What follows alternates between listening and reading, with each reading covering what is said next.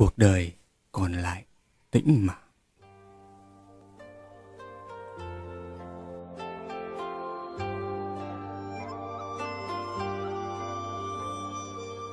một đời người dài được bao lâu, chẳng ai có thể dự tính được. Kiếp này vinh hay nhục, chẳng ai có thể nắm chắc được. Trong quãng thời gian mấy chục năm ấy, nào ai có thể hoạch định trước được tương lai? Mà chỉ có thể tuân theo vận mệnh, thuận theo tự nhiên.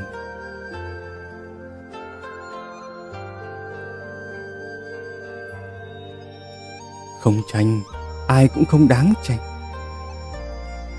Con người đến một độ tuổi nhất định thì tâm thái cũng theo đó mà dần dần thay đổi. Tuổi ấu thơ, thuần khiết thơ ngây. Tuổi thiếu niên, cuồng vọng nông nổi. Tuổi thanh niên mộng mơ hoài bão. Tuổi trưởng thành, nhiệt huyết sôi nổi. Tuổi trung niên, trầm tĩnh, bình ổn. Lòng không nghi hoặc, tâm không xáo động. Cứ thế, thản đạm, an nhiên.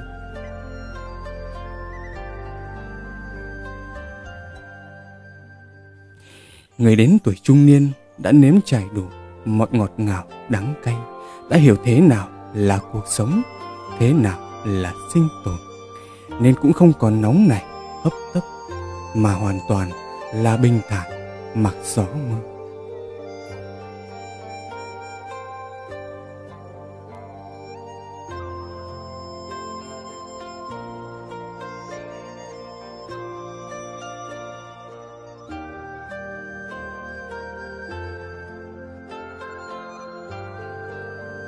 Hoàn cảnh sinh tồn ảnh hưởng đến tâm thái con người cùng với thời gian qua đi mà trở nên yên tĩnh, lắng động.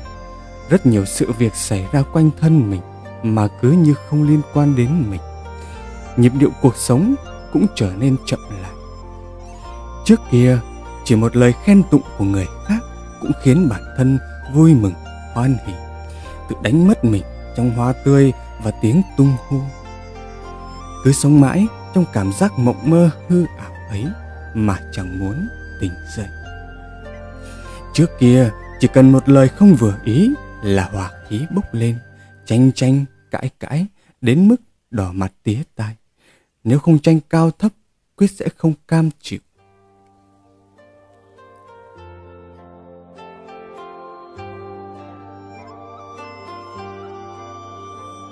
Nhưng dần dà, cùng với thời gian trôi qua, họ sẽ phát hiện ra rằng mọi tranh đấu đều là vô nghĩa. Giờ đây, họ chỉ thích được thong dong bước đi, chậm rãi, thân tĩnh lại, tâm cũng tĩnh lại, khá nhiều.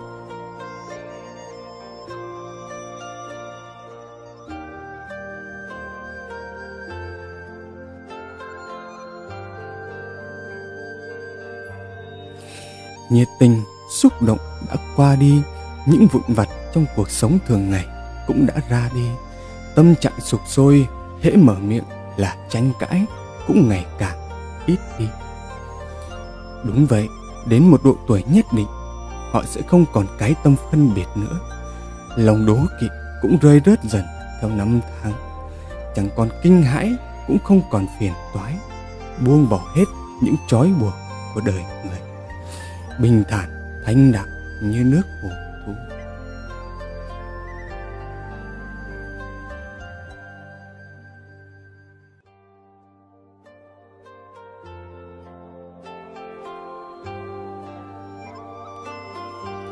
Tĩnh mà không loạn, tĩnh mà không tranh. Bởi không tranh nên giảm phiền não, bởi không loạn nên thêm ôn hòa.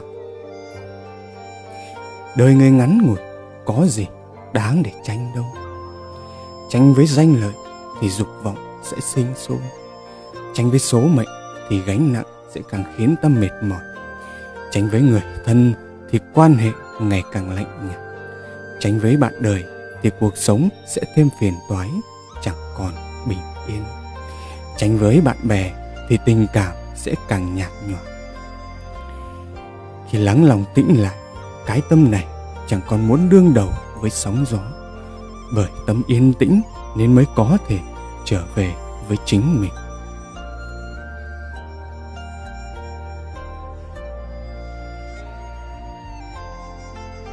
Sắp xếp cuộc sống xem sách, uống trà, ngắm hoa tỉa lá dành thời gian cho bản thân. Những năm tháng phía trước, chẳng lâu dài, thiện đãi bản thân mới là quan trọng nhất.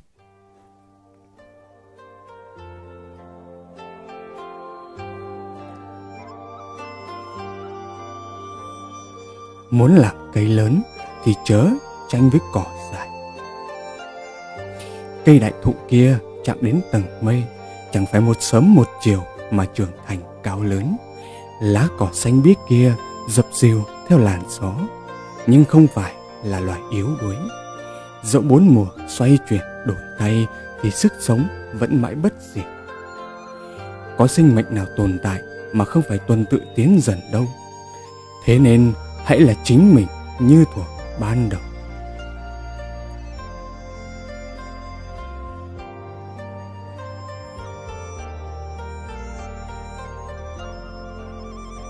Trở về với tự ngã, tìm về trạng thái nguyên thủy nhất, đó chính là yên tĩnh. Gột sạch dục vọng, thanh khiết nội tâm, đợi chờ tâm hồn, chớ mê mất tự ngã, đó chính là bản tính.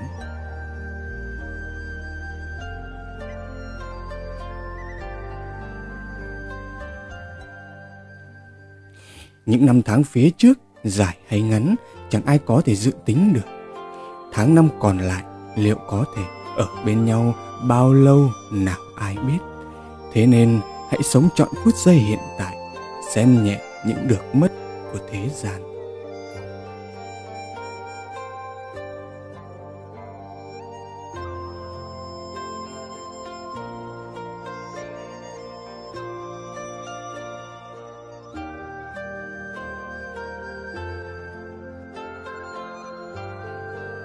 Trong đường hầm thời gian vội vã này, bạn là lữ khách, tôi là khách qua đường. Gặp nhau, xin hãy cùng trân trọng.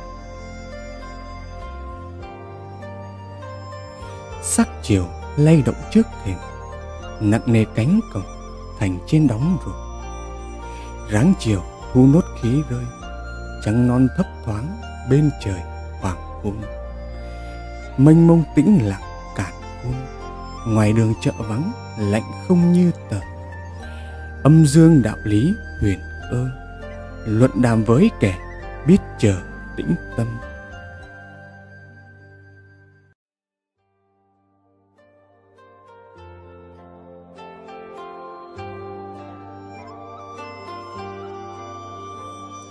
Khi vũ trụ càn khôn tĩnh lặng, chốn nhân thế lắng tiếng ồn ào. Đạo lý nhân sinh sẽ khai mở cho chúng ta trí tuệ. Nào cần ta tranh luận với ai? Con người đến tuổi trung niên, tháng năm còn lại không nhiều. Thế nên hãy thiện đãi với cuộc sống, thiện đãi với người khác, thiện đãi với bản thân và thiện đãi với hết thảy những gì xung quanh mình. Gột sạch tạp niệm, tẩy sạch những bụi bặm cáu bẩn của tâm hồn. Thì vẻ đẹp nội tâm sẽ tự tỏa sáng. Cuộc đời còn lại tĩnh mà.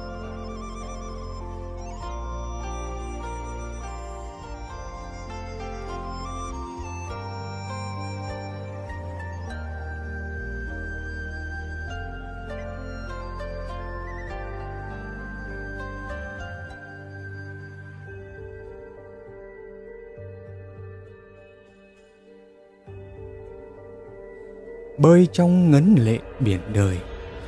Thuyền yêu gãy lái, chơi vơi lạc dòng. Thương người từ thuở nhớ mong, mà trong tâm tưởng có vòng dở dang. Cảnh khuya thức giấc ngỡ ngàng, nghĩ đời hư ảo mà tan nát lòng.